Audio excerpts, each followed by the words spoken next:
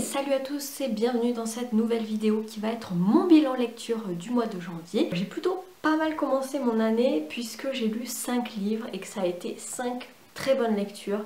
Donc on commence tout de suite. Le premier livre dont j'ai envie de vous parler, il s'agit de Glacé de Bernard Minier aux éditions Pocket. Le livre pour la petite histoire, euh, j'ai galéré un petit peu à le trouver d'occasion puisqu'en fait euh, mon père avait trouvé le tome 2 Le Cercle dans une boîte à livres qu'il avait lu et il me l'avait passé. Il s'était contenté de regarder la série télé adaptée de ce livre pour ensuite enchaîner avec euh, le tome 2.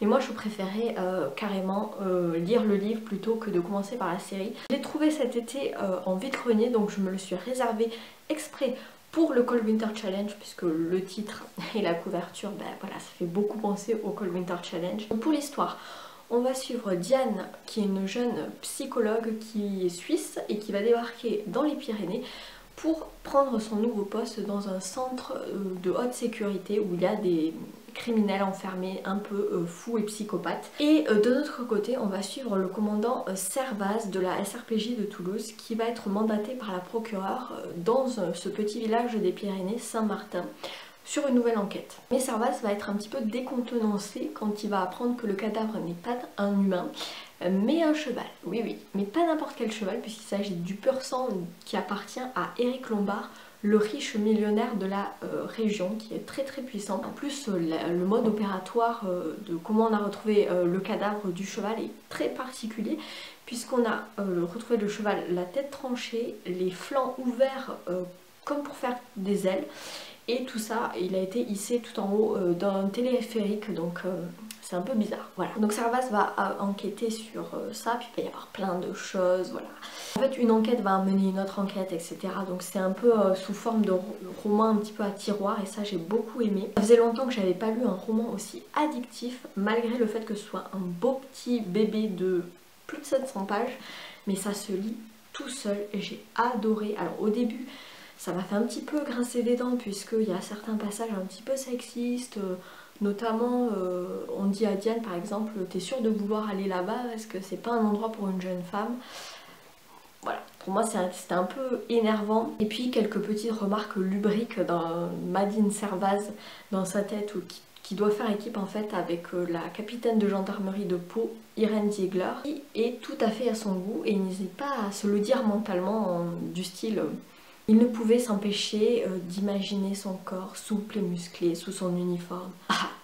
Ça m'a fait un petit peu lever les yeux au ciel, mais heureusement ça dure 4-5 euh, chapitres et après euh, on est direct dans l'enquête. Donc voilà, c'était vraiment cool. J'ai regardé du coup l'adaptation en série qu'avait fait M6 en 2017 et qui est disponible actuellement sur Netflix, donc n'hésitez pas.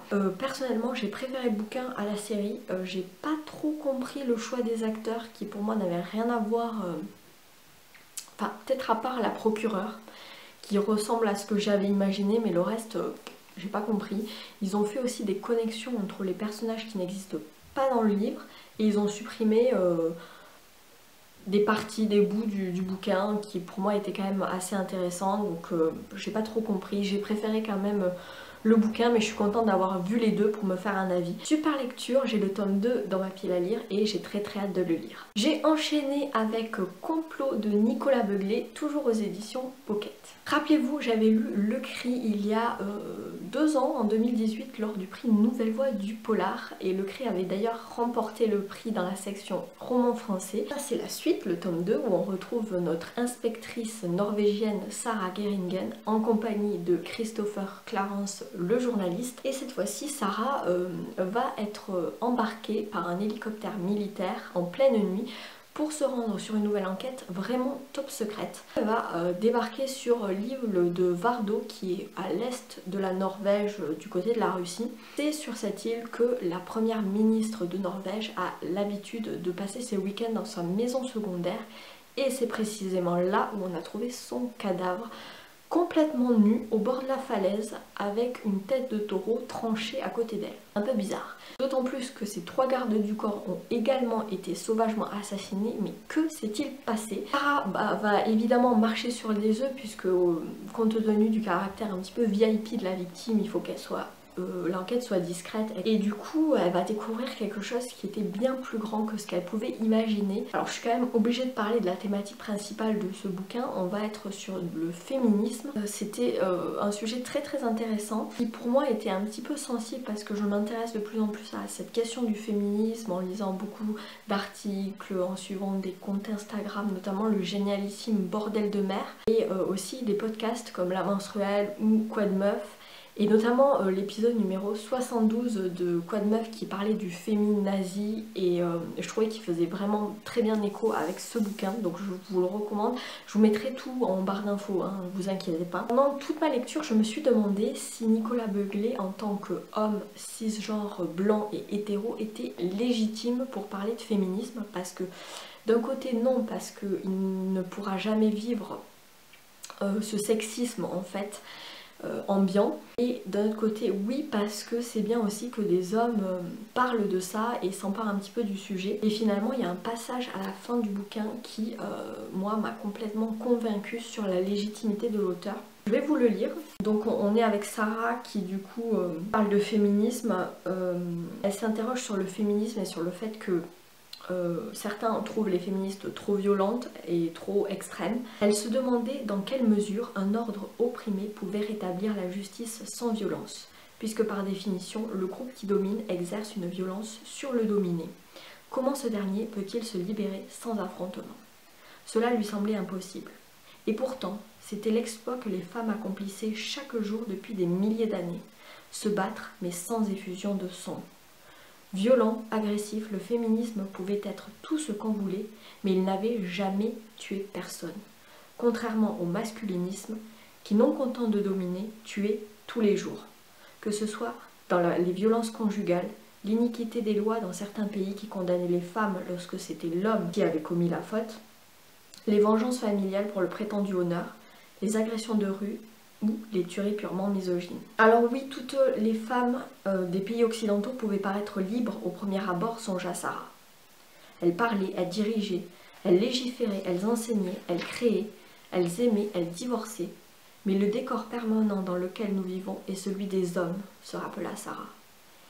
Et dès qu'on sort du cadre, l'humiliation, le mépris, le rabaissement guettent. Un homme ne peut pas comprendre parce qu'il ne le vit pas.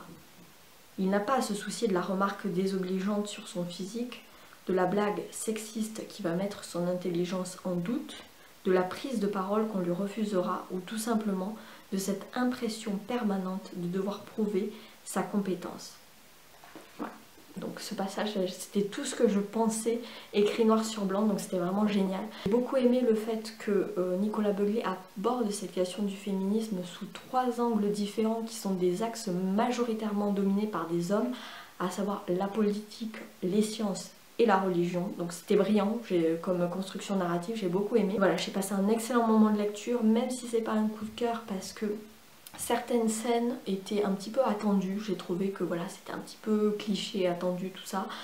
Mais j'ai passé quand même un bon moment de lecture et euh, voilà c'était intéressant comme sujet, comme thématique traitée, même si ça reste un petit peu sensible pour moi. Mais c'était quand même euh, très bien d'avoir fait ça et euh, voilà c'était cool, je vous recommande quand même cette lecture. Et enfin, pour terminer mes lectures du Cold Winter Challenge, euh, j'ai lu Monasterium de Andrea H. Japp aux éditions Calman Levy. Donc là, on est sur du thriller historique qui se passe au Moyen-Âge. On est dans un huis clos au beau milieu d'une abbaye de femmes de bonnes sœurs. Il va y avoir des meurtres, des complots, des jeux de pouvoir, des passages secrets, de l'empoisonnement, une révolte des lépreux, une épidémie de lèpre, enfin bref, tout pour me plaire. Donc il m'en fallait pas plus pour lire ce bouquin. Donc pour l'histoire, on va suivre la jeune Plaisance de Champlois qui est la mère abbesse de l'abbaye des Clérés, donc en France.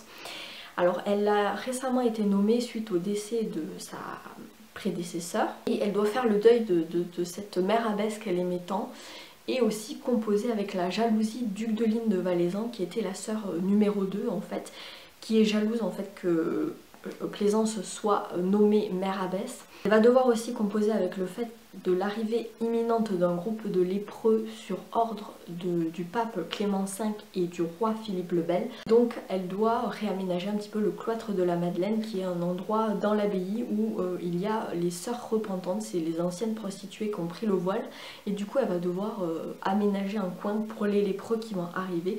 Bref, elle est un peu sur tous les fronts et va s'ajouter à ça le meurtre d'une sœur, l'empoisonnement d'une autre, la révolte des lépreux. Bref, il va se passer tout un tas de choses, c'est un peu la panique à bord. C'est assez étrange parce que d'habitude, euh, dans l'abbaye qui est tout est paisible et tout va bien, mais là, euh, il se passe plein de choses.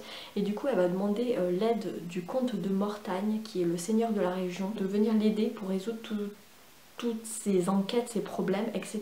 Et euh, le comte de Mortagne a lui-même quelques secrets à cacher. Donc voilà, c'était super, j'ai adoré l'ambiance huis clos dans un monastère avec des bonnes sœurs. J'ai adoré tout ce côté complot, jeu de pouvoir, euh, passage secret, euh, etc. C'était vraiment top. Il y avait tous les éléments qui me plaisaient. Seul petit bémol, au début il y avait beaucoup de personnages qui se ressemblent vu que c'est des bonnes sœurs, elles ont toutes leurs uniformes.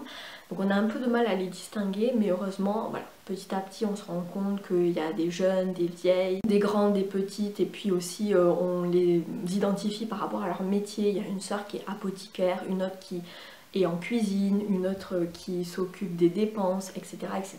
Et puis de toute façon, l'autrice euh, a eu euh, l'intelligence de nous mettre en début de roman une liste des personnages ici, ainsi qu'une carte de l'abbaye. Voilà, donc en fait on n'est pas du tout perdu et puis au fur et à mesure on s'y fait. Et puis le deuxième petit X c'était vraiment au début, euh, on est dans un vocabulaire euh, d'ancien français avec beaucoup de tournures de phrases euh, qui sont un petit peu désuètes aujourd'hui, mais ça nous plonge en plein cœur de ce 14e siècle. Et puis de toute façon il y a aussi des notes de bas de page et de fin d'ouvrage, donc voilà, on n'est pas trop perdu et puis une fois qu'on est accoutumé ça glisse tout seul donc pas d'inquiétude. En tout cas j'ai vraiment adoré ce roman qui était très original, j'ai adoré l'ambiance et puis il y a un, tome 2 en fait c'est une duologie, le tome 2 qui s'appelle La Croix de Perdition et que j'ai très envie de lire du coup parce que j'ai vraiment adoré ce livre que je vous recommande. Et comme ça, j'ai validé les livres de ma pile à lire du Cold Winter Challenge. Donc je suis ravie d'avoir euh, participer à ce challenge cette année et d'avoir réussi. Ensuite j'ai eu envie d'enchaîner sur toute autre chose que du thriller et je me suis sorti le prix Goncourt 2019 à savoir tous les hommes n'habitent pas le monde de la même façon de Jean-Paul Dubois aux éditions de l'Olivier. Donc ce livre m'a été offert par mon beau-frère à Noël et du coup je, savais pas trop à quoi m'attendre. J'y suis allée comme ça sans lire la quatrième de couverture, un peu à l'aveugle et autant vous dire que j'ai adoré ce bouquin. Je m'y attendais pas mais j'ai vraiment beaucoup aimé. Alors pour l'histoire on va suivre Paul Hansen qui a été emprisonné à la prison de Montréal. Je sais pas trop ce qu'il a fait pour en arriver là, on sait juste qu'il a deux ans de prison à, purger. Et donc on va le retrouver en compagnie de son co-détenu Patrick Horton et euh, le stéréotype euh, du Hell Angels, euh, le biker obsédé par sa moto, tout en muscles, hyper baraqué, un peu bagarreur, mais qui a quand même certains aspects un petit peu plus fragile, un peu plus sensible. Euh, il a cette naïveté euh, un peu enfantine. Le récit s'alterne entre euh, des passages dans la prison, plus particulièrement dans la cellule avec Patrick, et des passages où Paul se remémore toute sa vie en fait de son enfance jusqu'au drame qui l'a conduit en prison. Donc il va en fait pas vraiment parler de lui, il va surtout parler des gens qui ont traversé sa vie, à savoir déjà ses parents, son père qui était pasteur protestant et sa mère qui était athée et directrice de cinéma d'art et d'essai à Toulouse, donc il, a vécu son enfance à Toulouse. Ensuite, il va parler de son arrivée au Canada, de sa rencontre avec sa femme, de son chien, euh, de son travail en tant que concierge dans un immeuble, de, du jardin à entretenir, de la piscine à surveiller minutieusement, de tous ses habitants de l'immeuble à écouter et à choyer, jusqu'au geste fatal, voilà. Et c'était vraiment génial. Moi personnellement j'ai adoré le personnage de Patrick qui était vraiment très drôle. Il a vraiment cette, euh, ce côté un peu farfelu euh, où il s'intéresse un petit peu à tout, il a des théories un petit peu abracadabrantes sur tout et n'importe quoi et c'était vraiment très drôle. Et le passage où Paul doit lui couper les cheveux, mais je me suis pissé dessus de rire tellement c'était drôle. Ce livre m'a fait passer par plein d'émotions différentes, que ce soit le rire, la petite larmichette aussi, la colère, l'indignation, la joie, enfin bref, c'était vraiment génial. Et c'est ce que j'attends vraiment d'un bouquin, c'est de vivre des petites émotions comme ça, même si c'est pas les montagnes russes, euh, des émotions de malade et tout, c'est des petites émotions comme ça au détour d'une phrase ou d'un paragraphe et c'est vraiment ce que j'attends de, de, la lecture et, j'ai retrouvé ça dans ce bouquin. La plume de l'auteur est très fluide, très agréable, bien que quand même littéraire, hein, puisqu'on reste sur euh, un prix Goncourt, donc euh, c'est quand même de la littérature blanche, mais que j'ai trouvé vraiment très très abordable, donc c'était vraiment génial. Que vous dire d'autre à part le lire? Allez-y, foncez, il est vraiment cool et, voilà, et puis je, trouve qu'il mérite vraiment son prix Goncourt, donc chouette lecture. Et enfin pour terminer cette vidéo je me suis tournée vers un classique puisque ça faisait longtemps j'avais vu dans mon bilan de 2019 que je n'avais pas lu beaucoup de classiques et du coup j'avais envie de réparer ça en lisant un petit classique relique de ma pile à lire et qui n'est pas très long. Il s'agit de Colomba de Prosper Mérimée, ici aux éditions La Bibliothèque classique de la Dépêche. Dans ce livre, on va suivre le colonel Neuville et sa fille Lydia qui sont de grands voyageurs, mais il se trouve qu'en bonne fille pourri gâtée par son papa, Lydia est un peu lassée de l'Italie, elle a envie de voyager autre part et donc ils vont s'embarquer pour la Corse. Et donc sur le bateau, ils vont faire la rencontre du lieutenant Orso Della Rebbia, qui est un jeune, un jeune homme lieutenant qui était dans l'armée française et qui retourne sur son île natale, la Corse, après un long séjour euh, en France. Et euh, là-bas, il y attend sa jeune sœur Colomba, qui sous un aspect un petit peu fragile, un petit peu naïf comme ça, cache vraiment euh, une adversaire redoutable et euh, avec un tempérament bien trempé, euh, très très corse, puisqu'en fait là-bas, vous savez, en Corse, il y a cette espèce de fierté, cette espèce de vengeance de l'honneur, etc., où on se fait justice soi-même, et il se trouve que le père de Colomba et de Orso a été assassiné deux ans auparavant et qu'on n'a pas retrouvé les coupables et bien sûr, selon Colomba, il s'agit de la famille rivale euh, de leur famille, c'est-à-dire la, famille Baricini. Pour Colomba, Orso doit venger l'honneur de son père et tuer un des membres de la famille Baricini. Sauf qu'Orso, lui, est pas tout à fait d'accord parce que déjà, un, il n'y a pas de preuve que ce soit eux, et puis euh, voilà, il est très éloigné de, cette philosophie corse de se faire justice soi-même. Lui qui a vécu euh, toutes ces années en France, du coup, il s'est un peu détaché de tout ça. Miss Lydia et son père vont se retrouver au milieu d'une guerre intestine, au beau milieu du petit village de Pietranera, au, milieu des, montagnes corses. Et euh, voilà, c'était vraiment un super bouquin. J'ai adoré retrouver l'ambiance corse. C'est une île que j'aime beaucoup, la Corse. J'y ai passé de merveilleux séjours en été. J'y suis allée peut-être trois ou quatre fois.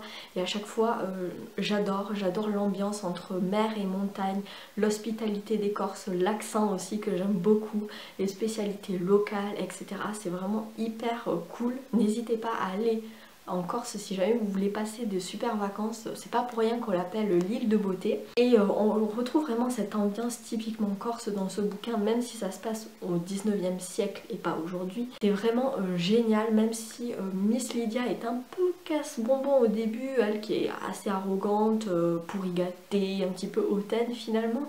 On la découvre sous un nouvel angle en compagnie du lieutenant Orso et puis Colomba qui, qui est quand même une redoutable voilà, tu sens que elle a un sacré caractère. Bref, voilà, j'ai vraiment passé un super moment de lecture. N'hésitez pas si vous voulez voyager en Corse tout en restant sur votre canapé. Ce livre est parfait. Voilà, c'est tout pour mon bilan lecture. J'espère qu'il vous aura plu. Je tenais à vous faire une petite parenthèse avant euh, de terminer cette vidéo pour vous annoncer que depuis fin janvier, je suis partenaire affilié à cultura.com. Donc qu'est-ce que ça veut dire? Ça veut tout simplement dire que euh, je peux mettre des liens affiliés euh, sous mes vidéos. Enfin, d'habitude, sous mes vidéos, je répertorie tous les livres dont je parle. Et euh, dorénavant, vous trouverez des petits liens affiliés vers le site de Cultura. Où, voilà, si vous passez par ce lien, que vous achetez le livre que j'ai présenté ou autre chose, puisque Cultura vend aussi de la papeterie, des loisirs créatifs, de la musique, des jeux, etc.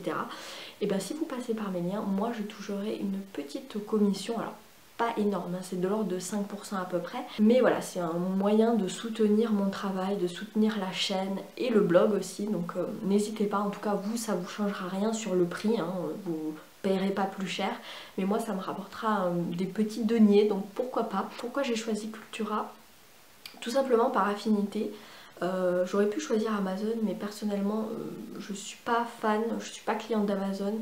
Je ne juge absolument pas les gens qui achètent sur Amazon. Euh, moi-même, ça m'est arrivé une ou deux fois. Mais euh, je préfère éviter parce que je suis pas fan de, euh, des conditions de travail de leurs employés ou du fait qu'ils tuent petit à petit la concurrence et notamment les petites librairies indépendantes. Donc évidemment, en premier lieu, je ne peux que vous recommander de privilégier les petites librairies indépendantes proches de chez vous. Mais des fois, c'est pas toujours possible hein, pour des raisons de délai, de disponibilité ou de campagne profonde, j'en sais rien. Du coup, pouvoir acheter sur internet, c'est une bonne alternative, je trouve.